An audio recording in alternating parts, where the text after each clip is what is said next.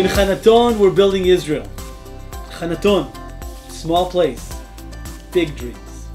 It's been about a month since we arrived to Hanaton, and I already feel like we're a family. אחד הדברים שאני אוהב לראות בחנתון זה איך מגשימים את כל הערכים. הערכים הציוניים, הערכים הארץ ישראלים, הערכים היהודים. עצם זה שמקבלים פה את כולם.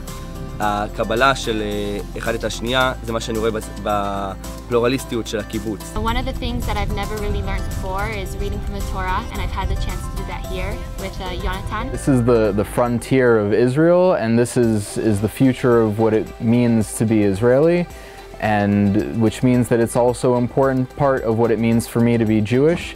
And that's going to come back with me to my career and to my congregation and to everyone that I educate and learn with and learn from. We at the Hannaton Educational Center have a clear stated position about the work we do here. We want Israel to become a more democratic, egalitarian society. And we want our graduates to be the influencers that make this change happen. Here at the Educational Center, we run a pre-army leadership program, a midrasha programs for post-army Israeli students and students from around the world, and an advanced learning center for rabbinical students and professional development. Hannaton already has a reputation at my high school. I personally heard about it from Maya, who was in last year's cohort, Machzor Gimel. I looked at some other Mechina programs, but the minute I got off the car in Hannaton, I knew it was the place for me. We believe that this is a place where we can model and practice and learn to come together and hear other people's belief systems, be open to them, share ours with them. So the first time I went to the services here and there wasn't a men's and a women's section, it was kind of strange because my entire life I'd been praying, you know, men's section, women's section, there's a wall in between, you know.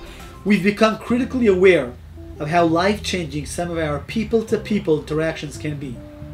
Whether it's between a Jew and a non Jew, an Israeli and an American.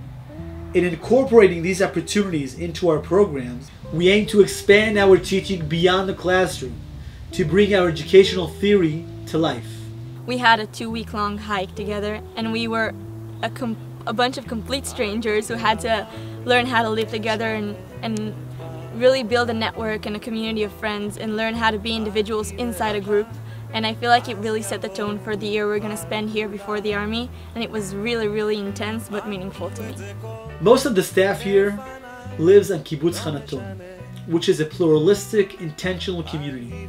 And what we've learned in practice, we bring to our teaching.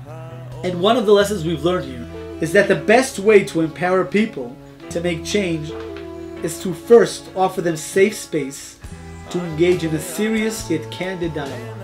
אני ממש אוהב את הקשר המשפחתי, החם והאוהב, שיש בין הקיבוץ למכינה ובין המכינה לקיבוץ, והקיבוץ עצמו מקבל את המכינה, וכל שבת אנחנו מתארחים אצל משפחות מאמצות, שמשקיעים אה, בנו מעל ומעבר, והיחס עצמו הוא מדהים, ואני מרגיש כאילו אני בבית, והמשפחה שלי היא פה.